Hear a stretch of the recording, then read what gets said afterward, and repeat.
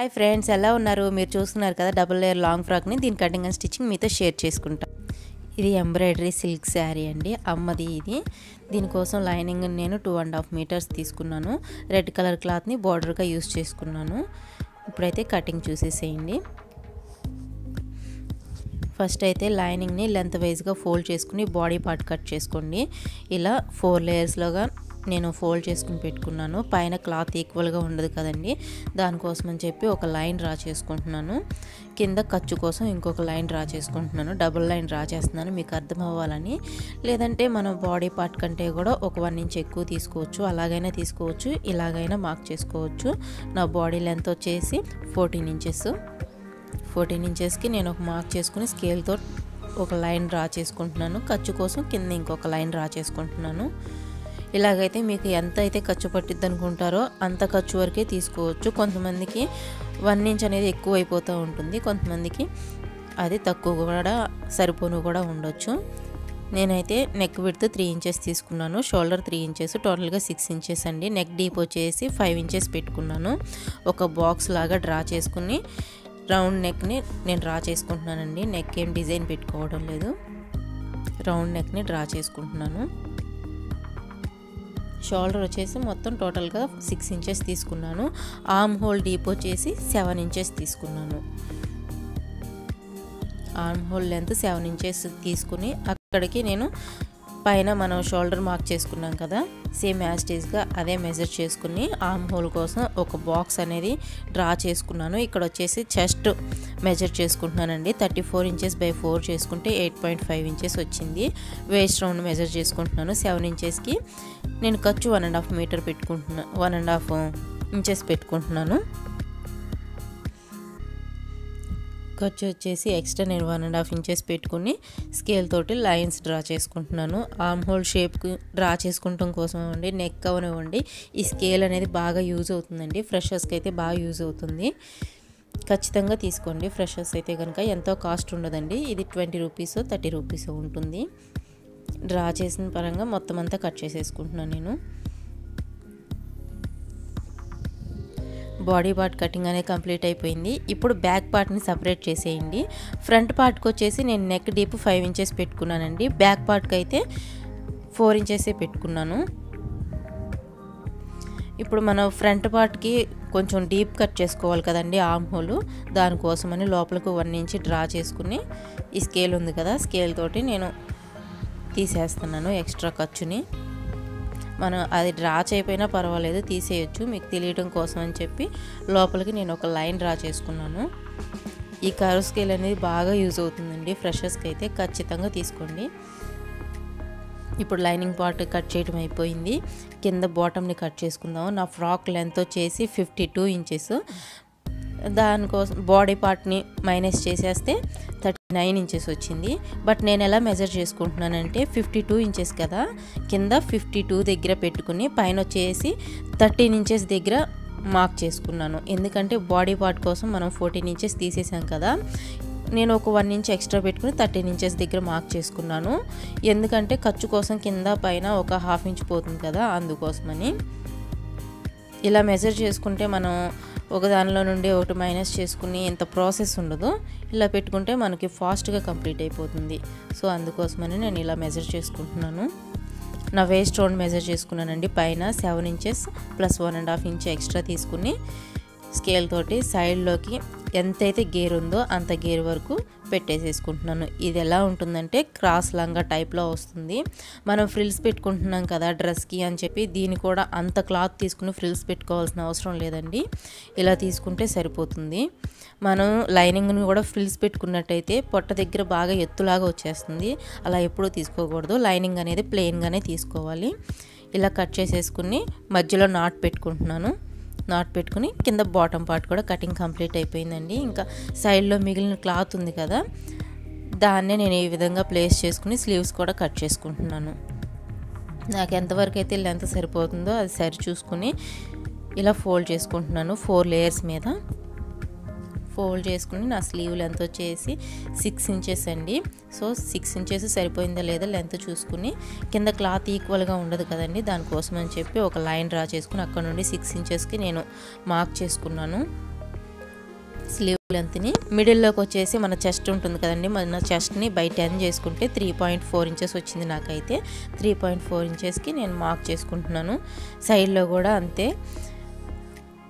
అక్కడ నాకు లెంత్ సరిపోతుందా లేదా అని సరి చూసుకుని ఒక లైన్ డ్రా చేసుకుని అక్కడ నుండి మనం పైన మార్క్ చేసుకున్నాం కదా ఇక్కడ నుండి ఇక్కడికి ఆర్మ్ హోల్ ఉంటుంది కదా ఆర్మ్ హోల్ని బై టూ చేసుకుంటే నాకు సెవెన్ పాయింట్ ఫైవ్ వచ్చింది.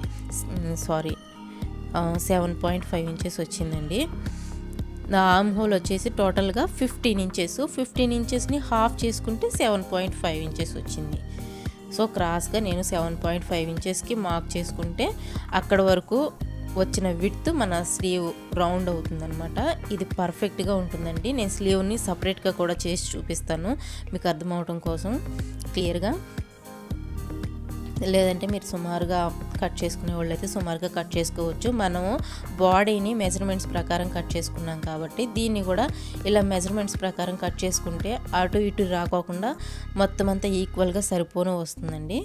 ఫ్రంట్ పార్ట్ కోసం కొంచెం ఖర్చు తీసేస్తున్నాను. ఫ్రంట్ అని తెలియటం కోసం మధ్యలో ఒక నాట్ పెట్టేసుకోండి. ఇలా కట్ చేసుకున్నట్టయితే మనకి షోల్డర్ దగ్గర స్లీవ్ కొంచెం ఎక్కువ రావటం లేదంటే బాడీ పార్ట్ ఎక్కువ రావటం అలాంటిది ఏమి ఉండదు. ఇది వచ్చేసి శారీ అండి. పళ్ళు ఇంతకు ముందు చూపించింది. శారీ టోటల్గా ఇలా కిందంతా ఫ్లవర్స్ లాగా వస్తుంది. అక్కడొకటి అక్కడొకటి. ఇంకొక ముప్పావు వంతు వచ్చేసి ప్లెయిన్ వచ్చింది శారీ. ఈ ఎంబ్రాయిడరీ వచ్చిన దాన్ని డబుల్ లేయర్గా యూస్ చేసుకున్నాను. ప్లెయిన్ వచ్చిన దాన్ని బ్యాక్ సైడ్ యూస్ చేసుకున్నాను. ఎంబ్రాయిడరీ వచ్చింది మొత్తాన్ని ఫ్రంట్లో యూస్ చేసుకున్నాను. ప్లెయిన్ వచ్చింది కదా ప్లెయిన్ని ఇలా ఫోర్ లేయర్స్ మీద ఫోల్డ్ చేసుకుని బాడీ పార్ట్ కోసం తీసేస్తున్నాను కొద్దిగా. మిగిలిన పార్ట్ని నేను బ్యాక్ సైడ్ యూస్ చేసుకున్నాను ఫ్రాక్కి.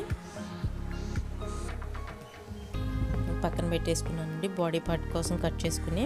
చూడండి plain part embroidery part cut చేసుకుని ఇలా పక్క పక్కన పెట్టుకున్నాను. ఫోల్డ్ చేసుకుని పెట్టుకున్నానండి. ఎందుకంటే మీకు అర్థం అవడం కోసం ఎక్కువ కట్ చేసేటప్పుడే పెట్టేసినట్టయితే మీకు అర్థం కాదు అందుకోసమని నేను కింద వచ్చేసి ఫిఫ్టీ టూ ఇంచెస్కి పెట్టుకుని పైన థర్టీన్ ఇంచెస్ దగ్గర మార్క్ చేసుకుంటున్నాను. నా frock length fifty two inches. So fifty two inches కింద పెట్టుకుని పైన థర్టీన్ ఇంచెస్ దగ్గర మార్క్ చేసుకుని కట్ చేసుకుంటున్నాను. ఎక్స్ట్రా మిగిలిన క్లాత్ని. ఇలా మొత్తం అంతా తీసేసుకుని ప్లెయిన్గా ఉన్న క్లాత్ని బ్యాక్ సైడ్ యూజ్ చేసేదాన్ని. తీసేసాను పక్కకు తీసేసి ఇప్పుడు ఫ్రంట్లో నేను డబుల్ లేయర్ పెట్టుకున్నాను కదా. సో దానిపైన వచ్చిన చిన్న లేయర్ని కూడా కట్ చేసుకుంటున్నాను. ఎంబ్రాయిడరీ పార్ట్ ఉంది కదండి ఎంబ్రాయిడరీ పార్ట్ని టూ పీసెస్గా కట్ చేసుకున్నాను. ప్లెయిన్ పార్ట్ని వన్ పీస్గా కట్ చేసుకుని బ్యాక్ సైడ్ యూజ్ చేసుకుంటున్నాను. చూడండి నేను ఇంత లెంత్ తీసుకున్నాను. మనకి ఎంతైతే పైన లేయర్ కావాలనుకుంటామో అంత తీసుకోవచ్చు. నేనైతే ఇంత ఎత్తులో పెట్టుకున్నానండి. ఇప్పుడు వచ్చేసి మనకి ఎంబ్రాయిడరీ ఫ్లవర్స్ ఉన్నాయి కదా. పైన ఫ్లవర్స్ కంటే కింద ఫ్లవర్స్ చాలా పెద్దగా ఉన్నాయి. ఇప్పుడు స్లీవ్ని ప్లేస్ చేసుకుని ఇట్లా కట్ చేసుకుంటే పక్కన ఫ్లవర్స్ కట్ అయిపోతున్నాయి. చాలా బాగున్నాయి కదండి ఫ్లవర్స్ అయితే. అందుకే పక్కన ఫ్లవర్స్ కట్ అవడం ఎందుకని చెప్పి నేను ఫ్లవర్ ఎంత ఉందో అంతవరకే కట్ చేసుకుంటున్నాను. అంతవరకే కట్ చేసుకుని ఎక్స్ట్రా నేను పీస్ని జాయిన్ చేసుకుంటాను.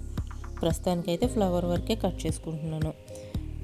స్లీవ్ని ప్లేస్ చేసి కట్ కట్ చేసినట్టయితే పక్కన ఫ్లవర్స్ కట్ అయిపోతున్నాయి. ఇవి వేటికన్నా ఇంకొకసారి ఏదైనా డ్రెస్కి యూజ్ అవుతాయి కదా అన్న ఉద్దేశంతో నేను అలా కట్ చేసుకోవడం లేదు. ఇలా రెండు ఫ్లవర్స్ని కట్ చేసుకున్నాను నేను. టూ హ్యాండ్స్ కోసం కట్ చేసుకుని చూడండి. ఇలా ఎక్స్ట్రా ముక్కను తీసుకుని ఇలా ప్లేస్ చేసుకుంటే మనకు కరెక్ట్గా స్లీవ్ సరిపోతుంది. పెద్ద సైజ్ బ్లౌజ్లో స్లీవ్ కట్ చేసినప్పుడు క్లాత్ సైడ్లో సరిపోదు కదండి. ఇట్లానే అటాచ్ చేసుకుంటారు ముక్కని. ఇప్పుడైతే నేను మెయిన్ ఫ్యాబ్రిక్కి లైనింగ్ ఫ్యాబ్రిక్ని అటాచ్ చేసి చేత్తోనే కుట్టుకున్నానండి. ఎందుకంటే ఇది సిల్క్ బాగా జారిపోతూ ఉంది. నా మిషన్ వచ్చేసి టేబుల్ మీద పెట్టుకుని కుట్టుకుంటాను కదండి. అది ఈక్వల్గా ఉండదు కదా. సో అందుకని చేత్తో కుట్టుకుంటే నీట్గా వస్తుందన్న ఉద్దేశంతో నేను చేత్తోనే కుట్టుకుని నెక్క దగ్గర కూడా కుట్టేసి చూడండి. నెక్ని కూడా కట్ చేసేసుకున్నాను. ఇప్పుడు వచ్చేసి షోల్డర్ జాయింట్ చేసుకోండి. షోల్డర్ జాయింట్ అనేది కంప్లీట్ అయిపోయింది. షోల్డర్ జాయింట్ చేసుకున్నాను. షోల్డర్ జాయింట్ చేసుకున్నాక నెక్ కోసం నేను ఇలా రెడ్ కలర్ క్లాత్ని క్రాస్గా కట్ చేసుకుని నేను ఒక బార్డర్ లాగా వేసుకుంటున్నాను రెడ్ కలర్ క్లాత్ని. చూడండి వన్ ఇంచ్ విడ్త్లో నేను కట్ చేసుకున్నాను. మనకి ఎంతైతే వెడల్పు కావాలనుకుంటారో అంత వెడల్పు పెట్టుకుని కట్ చేసుకోవచ్చు. నేనైతే సన్నగానే పెట్టుకుంటున్నాను. నెక్ దగ్గర వచ్చేసి మనం రౌండ్ పెట్టుకున్నాం కాబట్టి ఎక్కువ వెడల్పు తీసుకుంటే బాగుండదండి క్రాస్ పీస్ని. మనకి ఎక్కువ వెడల్పు కావాలంటే కనుక మనం నెక్ని ఏ షేప్లో కట్ చేసుకున్నామో మనం అటాచ్ చేసుకోవాలనుకున్న క్లాత్ని కూడా అదే షేప్లో కట్ చేసుకుంటే అప్పుడు మనం ఎంత వెడల్పైనా పెట్టుకోవచ్చు. మనకి ఏమి ముడతల్లాగా రావడం కానీ సరిగా తిరగకపోవడం కానీ అట్లా ఏమి ఉండదు. ఒకవేళ మీరు క్రాస్ పీస్ తీసుకున్నారంటే ఎక్కువ వెడల్పు పెట్టుకోకూడదండి. సన్నగానే పెట్టుకోవాల్సి ఉంటుంది. ఇది చూడండి నేను లైనింగ్ సైడ్ని ఈ రెడ్ కలర్ క్లాత్ని అటాచ్ చేసుకున్నాను. ఎక్స్ట్రా మిగిలిన క్లాత్ని కట్ చేసుకుని ఇప్పుడు మనకి మెయిన్ ఉంది కదా.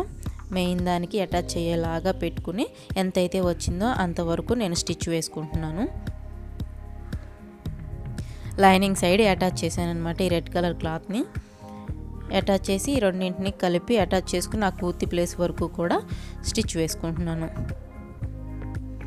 ఇలా కొంచెం ప్లేస్ వరకు కూడా స్టిచ్ వేసుకుని చూడండి. ఇలా కొంచెం ప్లేస్ వరకు కూడా స్టిచ్ వేసుకుని ఇది రౌండ్ కదండి మనం పెట్టుకున్నది నెక్ మొత్తం అంతా నాట్స్ పెట్టేసుకోండి. రౌండ్ నెక్కి నాట్స్ పెట్టుకుంటే మనకి పర్ఫెక్ట్గా తిరుగుతుంది రెండో పక్కకి. ఇలా మొత్తం అంతా చుట్టూ నాట్స్ పెట్టేసేసుకున్నాను. ఫ్రంట్ సైడు బ్యాక్ సైడు రెండు పక్కల.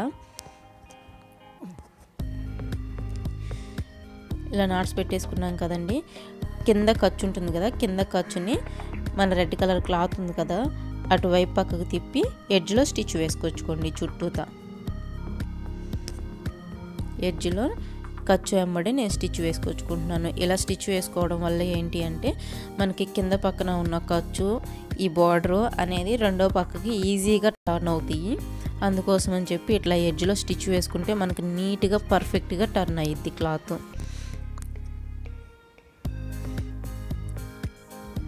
చుట్టూ స్టిచ్ వేసుకొచ్చుకున్నాను. ఇప్పుడు మనకి ఎంత అయితే వెడల్పు కావాలనుకుంటారో అంత వెడల్పే ఉంచుకుని ఎక్స్ట్రా మిగిలిన క్లాత్ని కట్ చేసుకోండి. ఇలా ఇట్లా రెండు లేయర్ల మీద ఫోల్డ్ చేసుకుని నాకు ఎంత అయితే వెడల్పు కావాలనుకుంటున్నానో అంత వెడల్పు పెట్టుకుని నేను స్టిచ్ వేసుకొచ్చుకుంటున్నాను.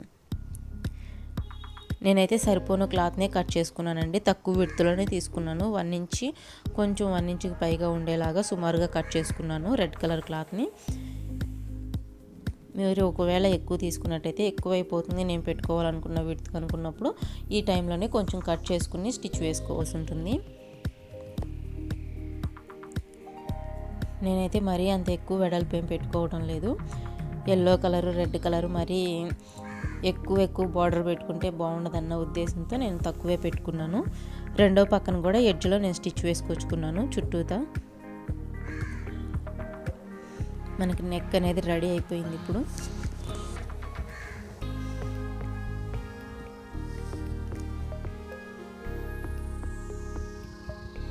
చూడండి మన నెక్ అనేది నీట్గా పర్ఫెక్ట్గా వచ్చేసింది. ఐరన్ చేసుకుంటే చక్కగా స్టిఫ్గా ఉంటుంది.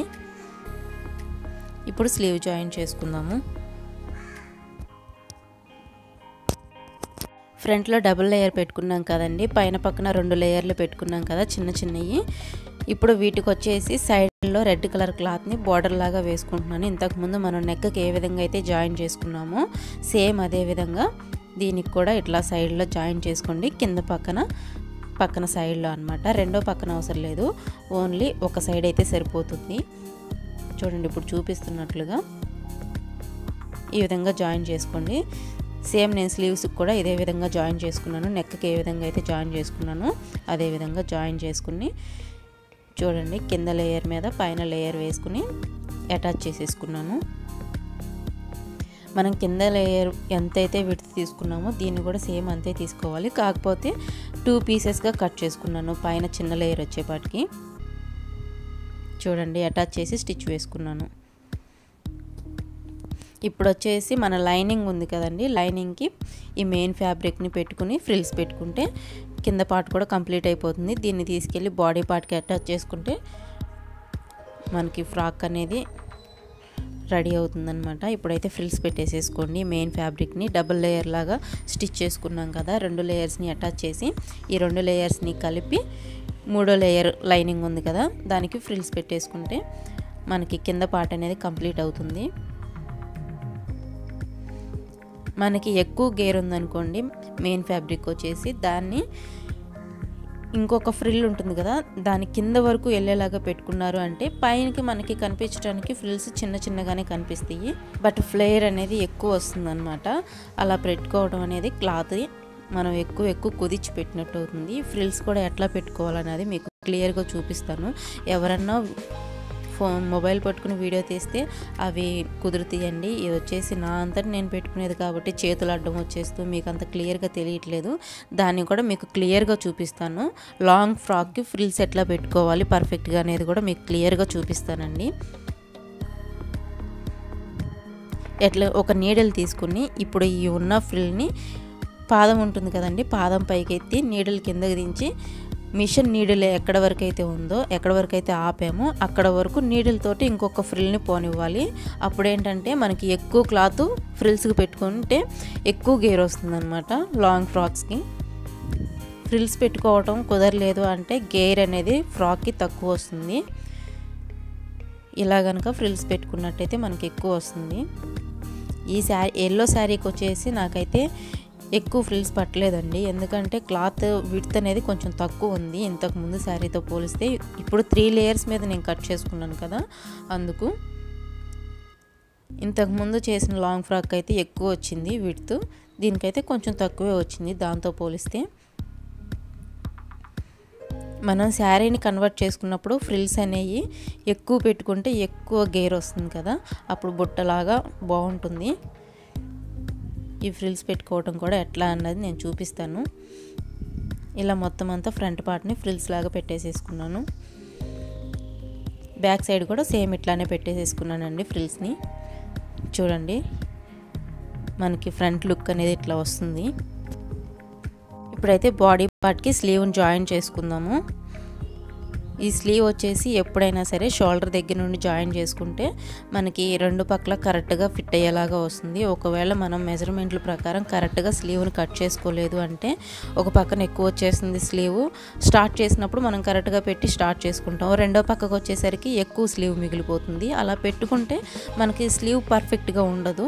అందుకోసం అని చెప్పి షోల్డర్ దగ్గర నుండి జాయిన్ చేసుకుంటే ఆ ఎక్కువ వచ్చే ఖర్చు ఏదో సైడ్లోనే రెండు పక్కల సమానంగా వస్తుంది కాబట్టి మనకు సరిపోతుంది. మనం మెజర్మెంట్స్ ప్రకారం నీట్గా కట్ చేసుకుంటే అసలు ఎక్కువ తక్కువ అనేది రాదండి. మహా అయితే వస్తే ఒక పావించు అట్లా వస్తుంది. నాకైతే కరెక్ట్గా పర్ఫెక్ట్గా వస్తుంది. ఎందుకంటే మనం మెజర్మెంట్స్ కటింగ్ అనేది మనకి ముఖ్యం. కటింగ్ కనుక మనం పర్ఫెక్ట్గా చేసామంటే స్టిచ్చింగ్లో వెనక్కి తిరిగి చూసుకోవాల్సిన అవసరం ఉండదండి. పర్ఫెక్ట్గా వస్తుంది.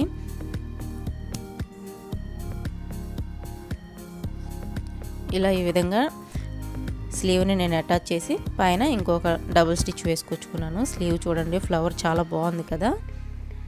స్లీవ్ మొత్తానికి సరిపోను వచ్చింది. హాఫ్ స్లీవే తీసుకున్నాను కాబట్టి రెండు స్లీవ్స్ని ఇలా జాయిన్ చేసుకున్నాను. జాయిన్ చేసుకుని మన బాడీ పార్ట్కి ఫ్రిల్స్ పెట్టుకున్నాం కదా కింద దాన్ని అటాచ్ చేసుకుని స్టిచ్ వేసుకోండి.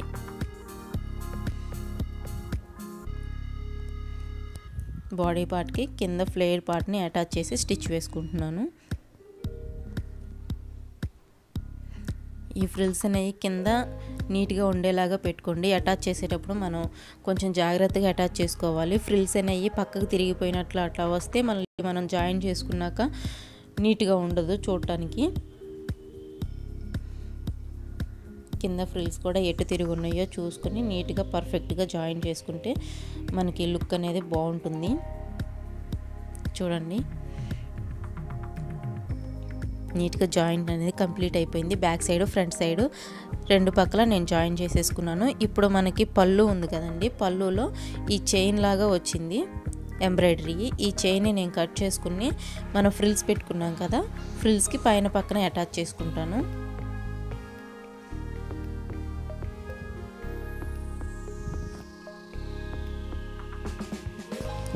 చూడండి బెల్ట్ని ఇట్లా కట్ చేసుకుని ఫ్రిల్స్ ఉన్నాయి కదా ఫ్రిల్స్ పైన పక్కన పెట్టుకుని అటాచ్ చేసుకుంటున్నాను. మనం ఫ్రిల్స్ పెట్టుకోకముందే అటాచ్ చేసుకుంటే ఏంటంటే మనం ఒకవేళ అటాచ్ చేసేటప్పుడు లైన్గా కనుక అటాచ్ చేయకపోతే ఈ బెల్ట్ అనేది కొంచెం బెల్ట్కి కిందకి ఫ్రిల్స్ అనేవి ఎట్లా ఉంటాయి అంటే కొంచెం ఎగుడు దిగుడుగా ఉన్నట్టుగా ఉంటాయి చూడటానికి అంత బాగుండదు. అదే మనం కింద పార్ట్ని ఫ్రిల్స్ పార్ట్ని అటాచ్ చేసిన తర్వాత ఈ బెల్ట్ని అటాచ్ చేసుకుంటే సేమ్ యాస్టీజ్గా మనం ఇంతకు ముందు ఎక్కడైతే స్టిచ్ వచ్చిందో దాని వరకు వేసుకుంటాం కాబట్టి నీట్గా వస్తుంది. చూడండి నేను ఫ్రిల్స్ దగ్గర నుండి స్టార్ట్ చేసుకుని కొంచెం ఎక్స్ట్రా ఖర్చు ఉంటుంది కదా ఖర్చుని ఈ విధంగా ఫోల్డ్ చేసుకుని స్టిచ్ వేసుకొచ్చుకుంటున్నాను. ఒక పక్కన స్టిచ్ కంప్లీట్ అయిపోయింది. పైన పక్కన కూడా క్లాత్ని ఫోల్డ్ చేసుకుని స్టిచ్ వేసుకొచ్చుకుంటున్నాను. ఒకవేళ ఇలా మధ్యలో చిన్న చిన్న ఫ్లవర్స్ ఉన్నాయి కదండి ఇలాంటి ఫ్లవర్స్ పళ్ళులో కూడా ఉన్నాయి కదా అవి కట్ చేసుకుని పైన పక్కన కూడా అటాచ్ చేసుకోవచ్చు. నేను మరీ అంత ఎందుకులే ఎక్కువ అయిపోతుంది ఎంబ్రాయిడరీ అనే ఉద్దేశంతో పైన పక్కన ప్లెయిన్గానే వదిలేసాను బాడీ పార్ట్ అనేది చిన్న చిన్న ఫ్లవర్స్ని కూడా అటాచ్ చేసుకుంటూ చేసుకోవచ్చు. శారీ బెల్ట్ లాగా నీట్గా ఉంది కదా. నాకైతే బాగా నచ్చింది ఇట్లా పెట్టుకోవటం. ఇప్పుడు సైడ్లో జాయిన్ చేసుకుంటే మన ఫ్రాక్ కంప్లీట్ అయిపోతుంది. సైడ్లో జాయిన్ చేసుకుని కింద పక్కన కూడా నేను రెడ్ కలర్లో బార్డర్ ఇచ్చానండి. ఇంతకుముందు మనం నెక్కి అటాచ్ చేసాం కదా. సేమ్ అదే విధంగా. సైడ్లో కూడా మనం ఎంతైతే ఖర్చు పెట్టుకున్నామో ఆ ఖర్చు వరకు మార్క్ చేసుకుని జాయిన్ చేసుకోవాలి. ఈ సైడ్ జాయింట్ వచ్చేసి బాడీ పార్ట్ వరకు వేస్ట్ రౌండ్ ఉంటుంది కదా. వేస్ట్ రౌండ్ వరకు లైన్గా ఈక్వల్గా అటాచ్ చేసి మొత్తం అన్ని క్లాత్లను అటాచ్ చేసి స్టిచ్ వేసుకోవాలండి.